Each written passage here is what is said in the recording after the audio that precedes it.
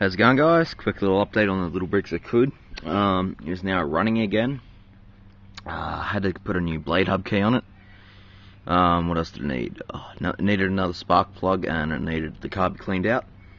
Um, and for something new, I thought I might try running it on Kero. Um, well, with these, you can't start them on Kero unless they're actually warm to start with. So what I do is, this is stone cold, as you can see. Just cold as a rock. Um, to get it started, all I do is just get a bit of paint thinners, squirt a bit down the carby. Should be enough to get it going. Let's see if show you how it runs on Kero.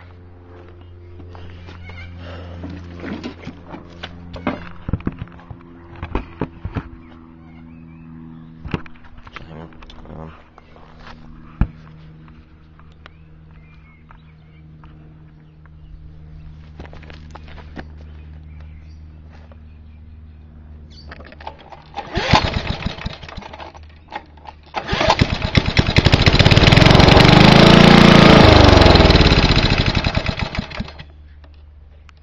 Uh, this has also had a new conrod put in it as well because the last one broke.